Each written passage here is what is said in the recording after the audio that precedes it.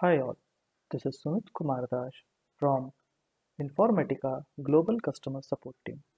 Today we will see more about SFTP service in IICS.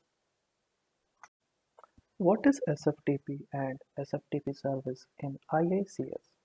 Secure File Transfer Protocol SFTP is a file protocol for transferring large files over the web.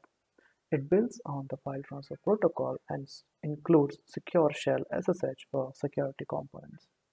SFTP is a client server protocol that can be launched as a command line or through a graphical user interface GUI.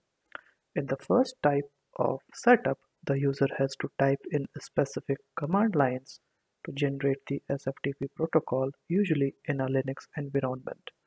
The second option is to use for the UI where we can use in visual mode. In the IICS, we can enable a service of SFTP to use it. Once we do it, the file server user with proper settings can log in with the provided password and then perform the file transfer. Okay, so now what we can see here is a file server and let's see how does we can create a file server user and how to use this SFTP service. So here I have already logged in with my account called as Sumit with my credentials. And once you select this administrator service then at the last point you will get this uh, file server option. You just have to click and the this is the list of file server which will come automatically. Now this Sumit is actually uh, this is my secure agent or you can say the runtime environment where this is actually running the SFTP server. So if you can see this SFTP is right now in the started mode. If you click on this ellipsis icon you can see these are the three options whether you want to stop or you can edit. Either you can select this option or you can directly go inside the uh, this file server Sumit or runtime environment and then uh, you can get all the required information.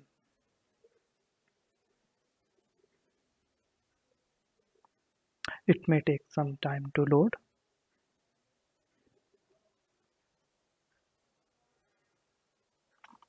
Okay. So here we will see there are three separate tabs called as HTTPS slash AS2 server. For one is another is for SFTP server, another is for proxy server. So uh, in for this video we have selected this SFTP server option. We have to select this tab here.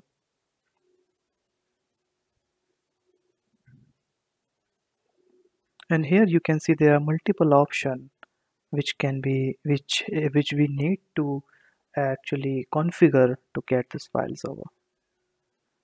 So we will I'll cover each and every topic one by one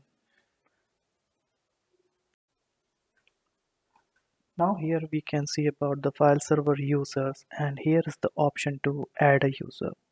I have already created for convenience this file server user.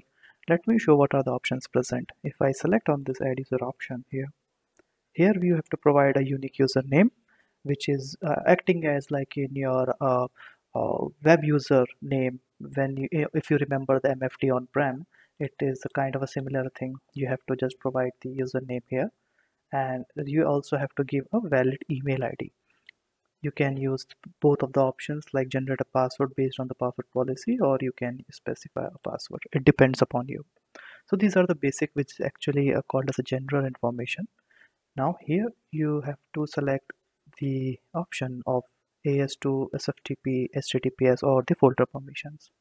In case you are only working with the SFTP server then directly you can disable the other protocols like this. Go to the SFTP server. Since we are using the service then I am not going to disable it. Similarly I am going to disable the HTTPS folder permissions I am not uh, doing anything with it. So over here I have enabled the SFTP protocol and I am using this authentication type is as a password. There are three other options called as public key use of public key both and either so if you are using this password then definitely it will take the general password whatever you are giving it over here. Or if you can create a public key then then you have to provide the location of this public key. So let me let me not save this right now. Let me discard it and let me go inside this uh, file server user. So as you can see I have already created it. Let me go inside this SFTP server and uh, I have enabled it as a password.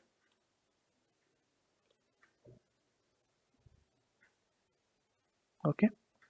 Now what happens is if you know the web server concept in MFT then it is using a separate username apart from the root user. So here it will use the username of this file server user called as Sumit and it will use the password of this account now let's get back to the file server for the agent Sumit. So in the same page we can we have already enabled the service for the SFTP server. So as you remember like we have to use select this option to enable the SFTP server with a port. Now this is the default port. Whenever you enable the service it is the default port. And this is the uh, secure server agent IP the actually the machine over which the secure agent is uh, running you can enable or disable SCP if you want to copy files then you can use it. These are the default settings for the timeout or maximum login times uh, like that. Now if, if you scroll down you will find algorithms list. So these are the algorithm which is used for uh, connection uh, establishment and the encryption. So these are already selected. These are all by def uh, default algorithm cipher uh, selected for uh, MAC algorithms and for enable compression algorithms like that. These are JTF key exchange algorithm. Based on your uh, requirement you can select or deselect based upon your use case. Now if we if we move down you we can find the host keys over here which is uh, actually the location where you can save your private keys. So what happens is it will use this private key to uh, create a connection like in SFTP we require to have a username and password over here. So it is required since it's mandatory option to have a PP, uh, private key. And uh, it, there are two separate algorithms called as an RSA and DSA so we have to create uh, these files using a, a WinSCP or if you know the WinSCP you can directly go over the tools and you can run this uh, PuTTYgen and from this or from this option of generate and save whatever the requirement like RSA and DSA algorithms you can uh, create those files. I have already created those files and I have put it inside the location also.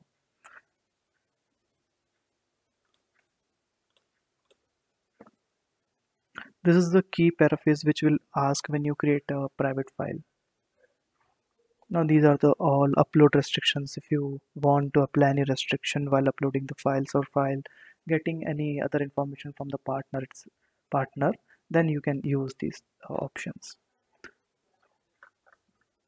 You uh, once if you make any changes you have to go uh, go to this button and you have to click on save. Once it will save you will find a start button in the green form. Since I've already started it so it is disabled for me and uh, if I want to make any changes first I have to stop it. So same thing. Now I have uh, logged in inside my secure agent with my proper credentials and you can see that these are the folders once you install the secure agent over any of your Linux or Windows machine. Right now this is the Linux one. I have created this local folder test. If I go inside this I have created uh, two folders input keys and output. And uh, if you if I go inside this apps file integration service I can get all those required files. If you want to check the logs you can go inside the logs to check the file integration service.log this is required when you uh, starting starting any SFTP service. Okay.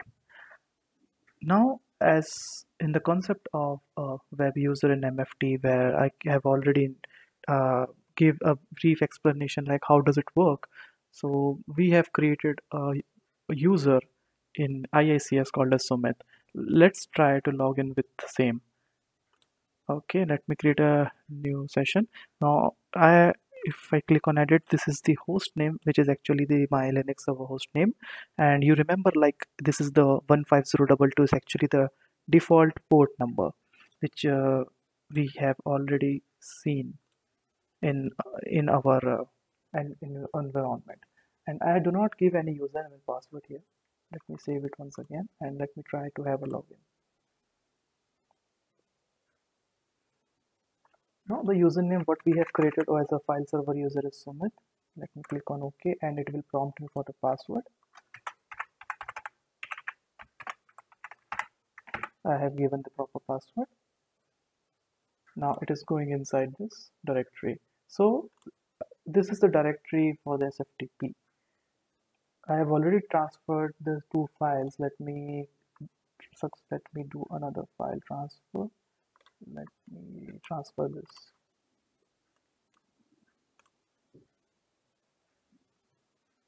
Yeah. So file transfer has been successfully completed so this location is only visible for the partner. So they cannot go to any other location. If you can see you cannot go at any other location. For example I want to go inside the root so you see you cannot go inside it because the partner only have an access to this location. Uh, for the admin user if you are logging inside the IICS how would you check where you will get all those files? So if you go inside this location from the root IICS GCS B2B apps file integration service custom. And this is my user Sumit so this user actually this location will give you all the files which are transferred. So this is the point of verification. From this option also you can verify. So as you can see like test.pem file has been successfully transferred here and uh, by using the SFTP service over IICS. So this way we, we can enable the SFTP, we can configure it and we can use it. We would love to hear from you. You can drop us an email at supportvideos at informatica.com.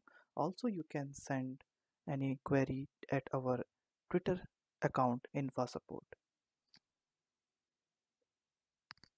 Thank you.